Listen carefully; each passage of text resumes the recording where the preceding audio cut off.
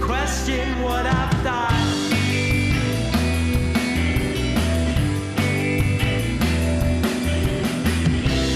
I'll have you believe it. I'm not that far gone.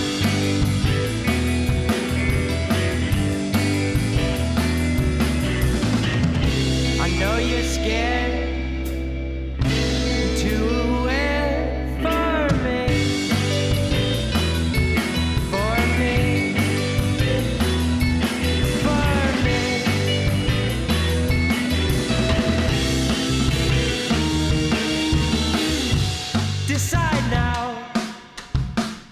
what's it gonna be like when you're down, severely